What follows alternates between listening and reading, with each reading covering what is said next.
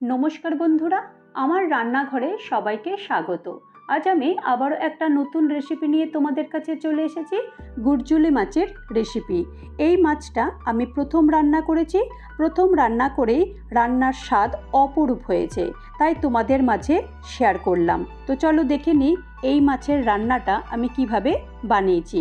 তার জন্য এখানে আমি পাঁচ পিস মাছ নিয়ে নিয়েছি এই মাছটা ভালো করে ধুয়ে পরিষ্কার করে নুন হলুদ মাখিয়ে রেখে দিয়েছি।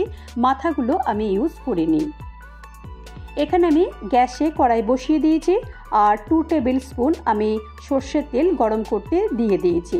মাছ সাধারণত সর্ষের তেল দিয়েই রান্না করলে বেশি ভালো হয়। তো এই মাছগুলোকে আমি একটা একটা করে দিয়ে সমস্ত মাছগুলো ভেজে তুলে নেব।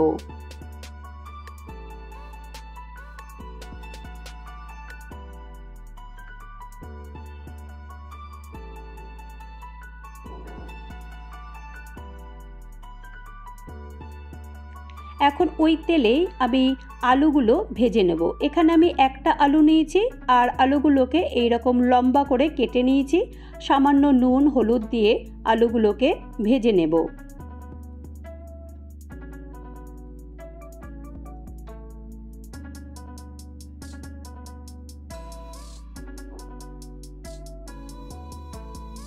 ওই তেলে আমি ফোড়ন দেব, ওয়ান স্পুন আমি জিরে দিয়েছি।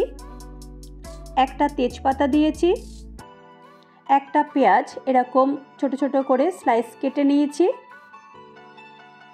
পেঁয়াজটা হালকা ভেজে নেব কারণ পেঁয়াজের মধ্যে সামান্য জল থাকে, তো সেই জলটা শুকনো পর্যন্ত হালকা ভেজে নেব।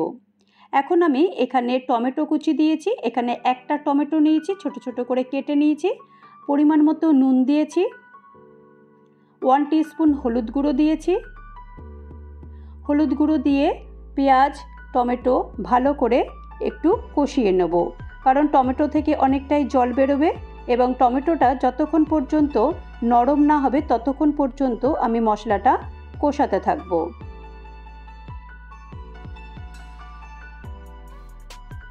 এখন আমি সমস্ত বাকি ইনগ্রিডিয়েন্টসগুলো দিতে থাকব।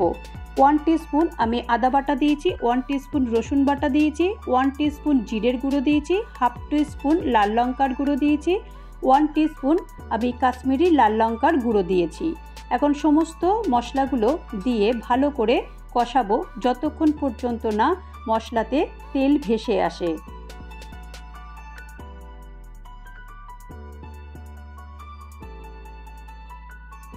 মশলাতে তেল ভেসে এসেছে তার মানে মশলাটা বেশ ভালো কষে গেছে। এখন আমি পরিমাণ মতো জল দেব। এখানে আমি দু কাপ জল দিয়েছি।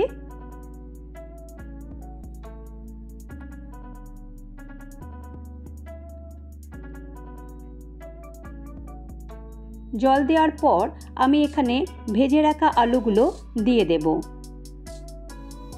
আলুগুলো দিয়ে আমি দু থেকে পাঁচ মিনিট মতো আমি এটা ঢেকে রাখব যতক্ষণ পর্যন্ত না আলুটা সেদ্ধ হয়। আলু মোটামুটি সেদ্ধ হয়ে গেছে আর এখন আমি ভেজে রাখা মাছগুলো সব দিয়ে দেব।